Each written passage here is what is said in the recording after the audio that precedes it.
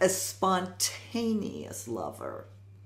Really? Men over 50 like surprises like that? Did you push record?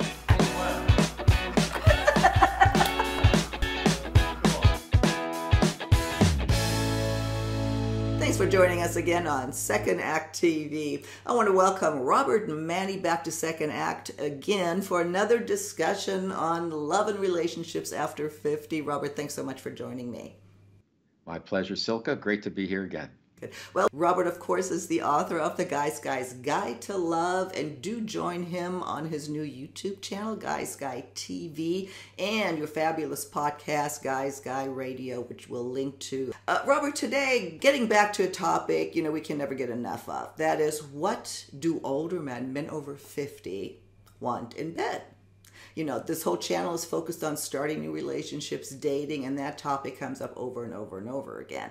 And to that point, I ran across an article, you know, got my attention. What do men over 50 want in the sack? and true to its title, it's written it kind of tongue in cheek, good advice, but it's also written by uh, a pool of writers on this particular platform, which we'll link to. And I don't know. I have I have a few questions to you for to a man, a man's point of view on their advice. The first one saying that what men over 50 really want is a confident lover. That while older men may still not want a conf, you know, an aggressive woman in uh, the office, they're still getting used to that. They do want an aggressive woman in the bedroom. What do you say? Well, you know, there's a difference between confident and aggressive. So I think everybody at any age, you want to be with a partner that has self-confidence, because if they don't, that it's, it's going to, you know, uh, impact the experience, if you will. In terms of aggressiveness, it's it's all personal taste. Some women like to be more aggressive, and some men like to be more aggressive, and whatever works is is great. So I, don't know if it's age uh, significant or not. I think it's people significant, where it's individual taste. Because whether you're older or younger, you have, you know, some. I was on a date when I was in my 20s, and I was with a businesswoman in New York, and I thought the date was over, and she pushed me up against the wall in her apartment, and uh, off came her power suit, and uh, and it was like, what? But you know, it can happen at any time, any age. So, uh, did I like it? Yeah, it was great. Uh, but it's that's different than you know if you get into a whole thing where it's a role play or or whatever. So I think you just have to be open minded and can't say somebody has to be a specific way all the time or you know I don't want her aggressive or I want her aggressive. I, I think we have to just roll with roll with it a little bit because everybody what does she want?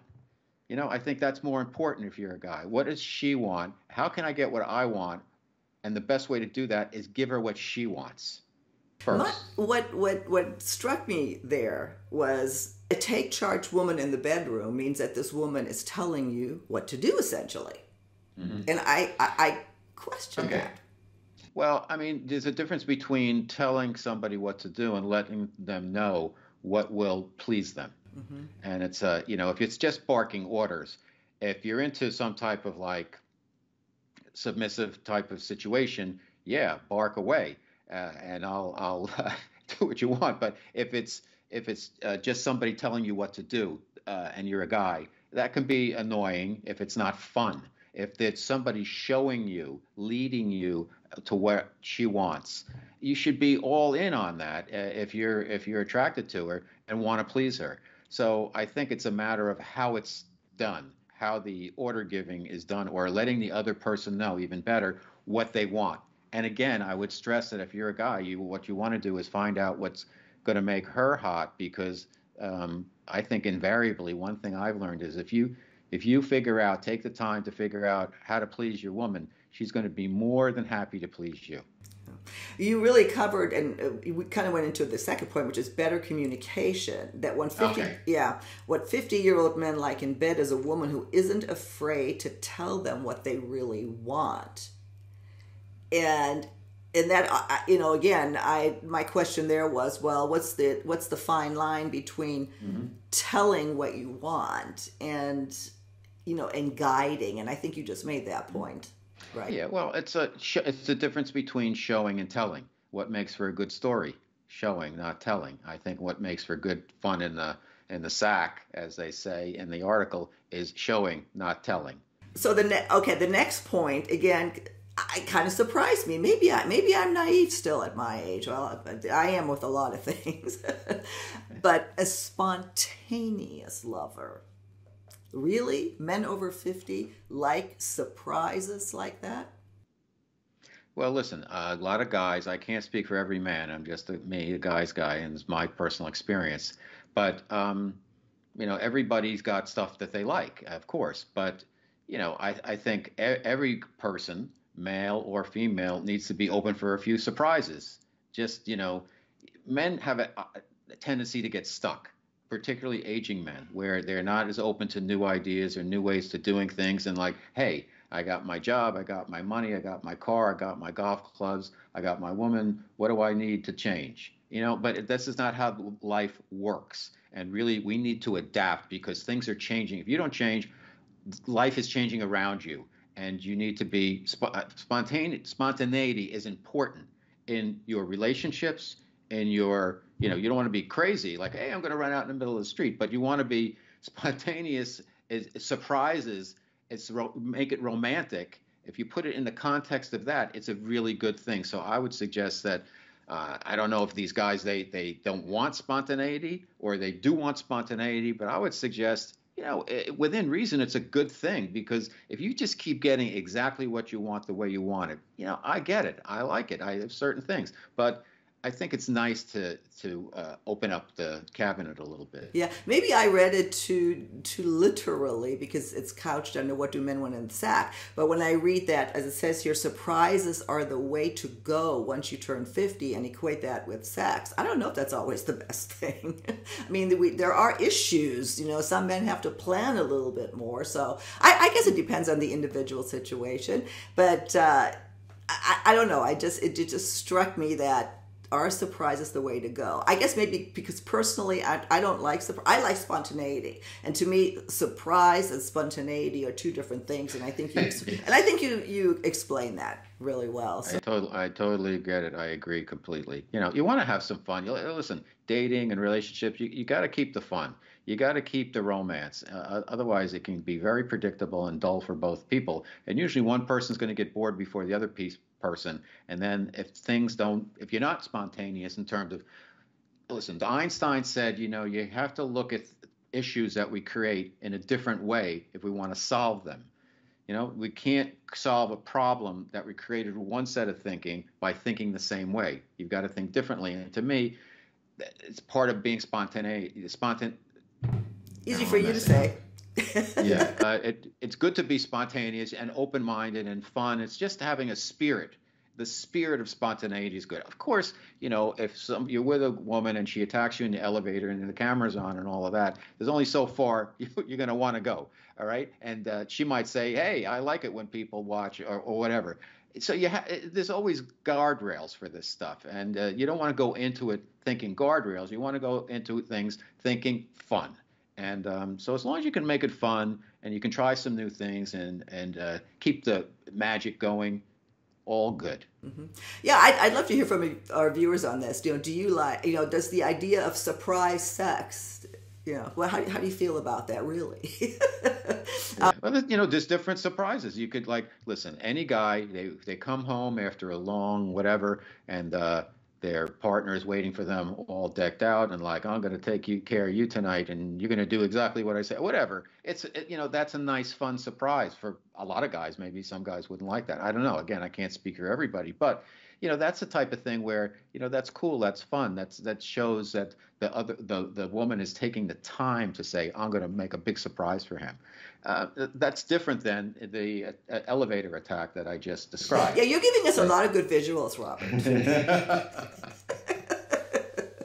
the the next one I totally agree with. At least I think, but you know, my question is to you: a partner you can satisfy that you know. Oh, well, okay, so I totally agree with that. A partner you can satisfy, but there is the way he closes it, and, and I'll throw this out now even if he knows it's not true. I think that's terrible to even write that. Now you're encouraging the woman, something that especially of our generation, we were always encouraged to make the guy feel like he had the best, best sex ever when it wasn't true. Well, I, I, guess it's a mindset thing to me. For again, if you're a guy, if you take care of the woman, she's going to take care of you. If you, you know, you can get away with being selfish for X amount of time, but then eventually the woman's going to be dissatisfied. So I think you want to make sure that you satisfy your woman. If you don't satisfy her, uh, she deserves satisfaction. So that begs the question: Well, how's she going to get that satisfaction? Fellas, are you listening? Um, so I think it's important to satisfy your partner. And for women, the same thing. You want to satisfy the guy. Now, usually with guys, you know, when it all comes down to ultimately, they want to have some type of uh, orgasm. And but I think women want to have an orgasm.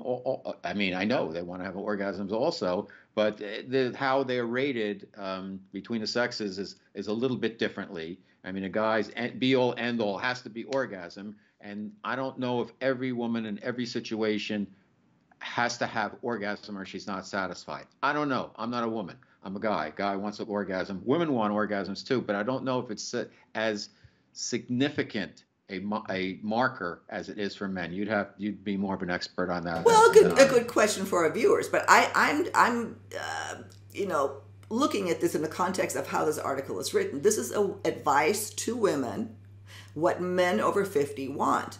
And the way it's positioned is that they want a partner they know they can satisfy, even if it's not true. And that's what I'm questioning.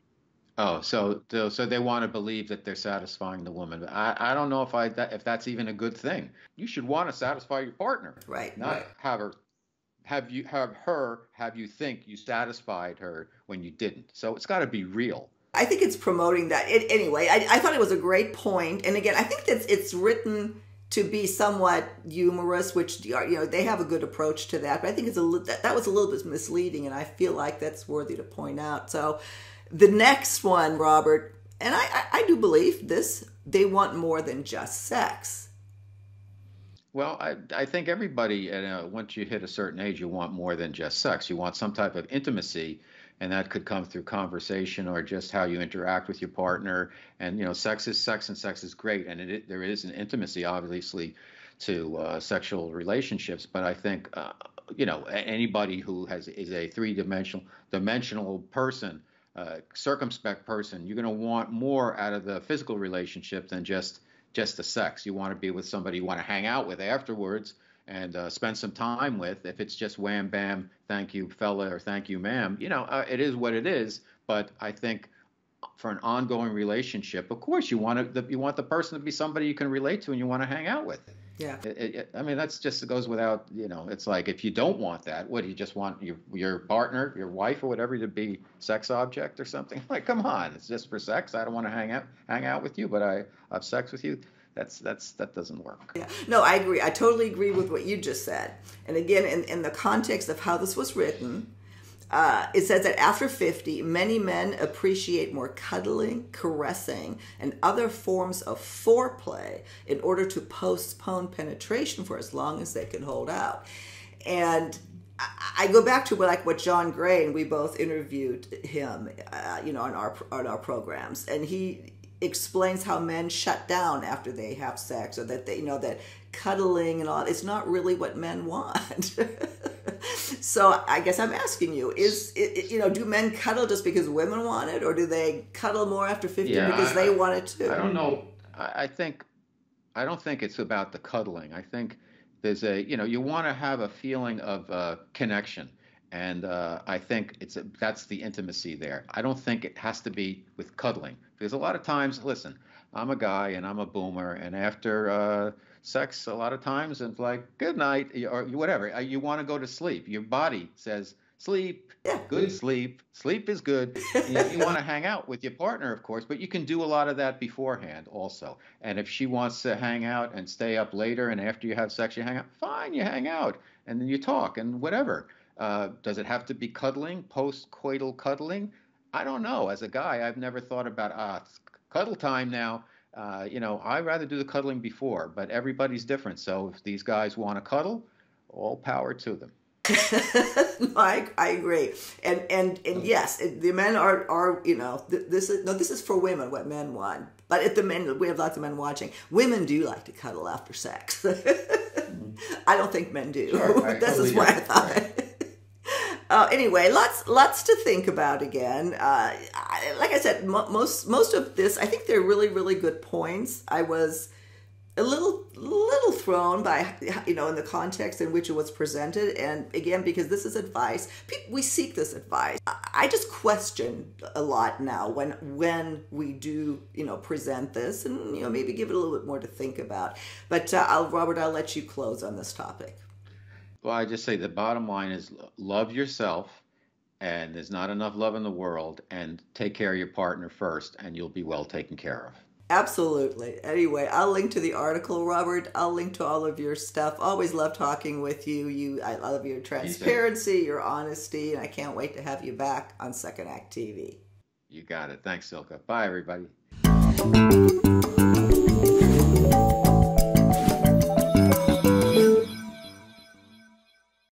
You haven't already done so, please be sure to subscribe to our channel. The button is right over here. Just click on through to YouTube. When you see the little bell right next to the subscribe button, hit that too. We'll notify you every time we start a new video. See you next time.